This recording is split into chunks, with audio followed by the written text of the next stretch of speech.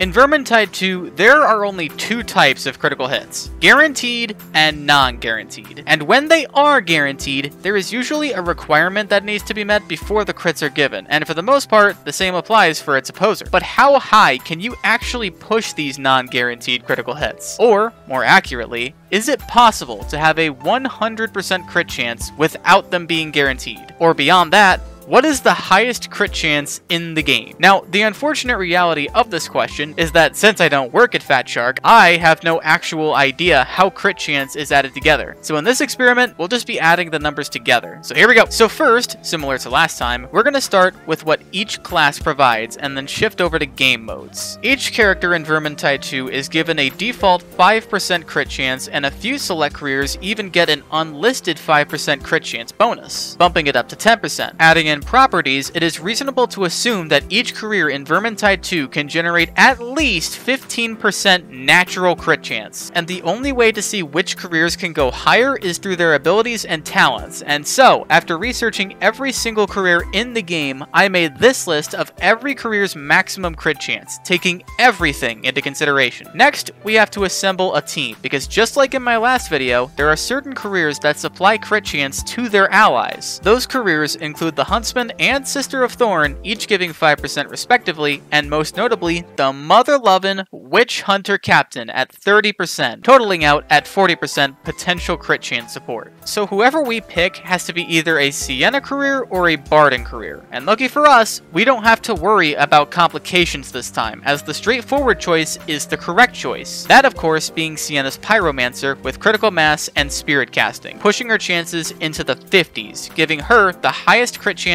in the game. But will it break 100? After taking everything into consideration, we are unfortunately short by 5%, with 55% being Pyromancer and 40% being team support. But if you still want to put those pieces together, you want to be within range of a Huntsman and a Witch Hunter Captain while they ult using one of the talents that go to the team, all the while getting off of a fresh Elite slash Special slash Monster kill from Wildfire Vor. You will also need a Sister of Thorn who just got done using one of her Radiances with Inheritance. I have no idea what Radiance even is to be honest. And finally, you need your Pyromancer to have a red level of overcharge while running spirit casting, which also requires her to be at at least 80% health capacity. And that is how you get the highest crit chance in campaign games. But what about alternative game modes? Well, for starters, weaves are useless here, as there isn't a mode that increases crit chance. Now, Chaos Are a different story. You have a mission complete bonus of 10%, you can still get properties on your melees, but you also have traits that are frankly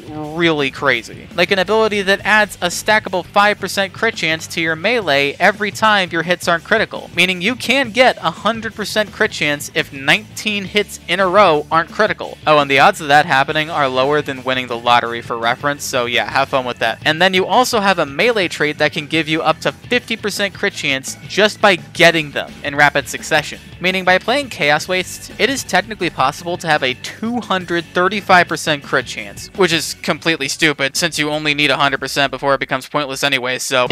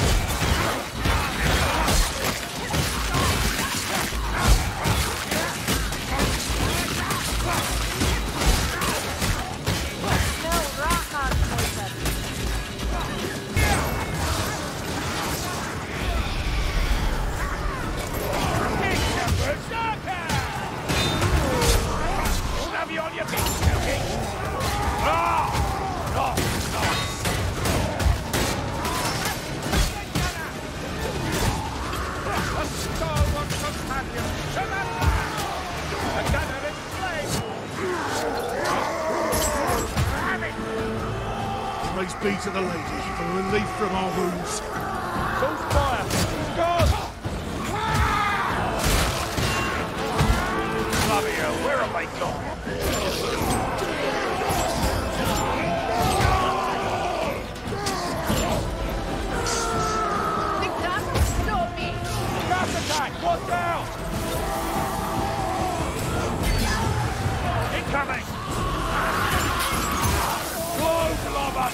Grenade!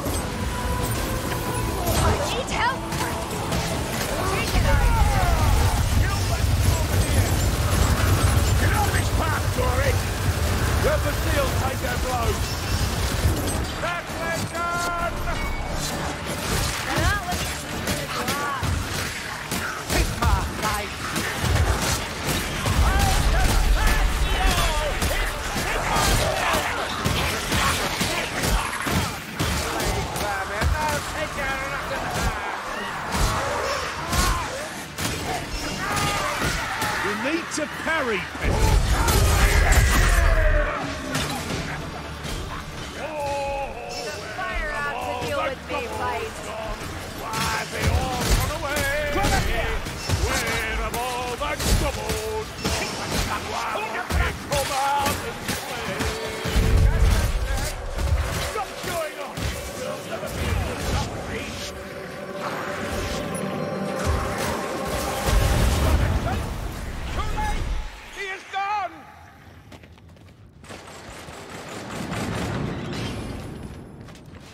We have a door and a chance to leave.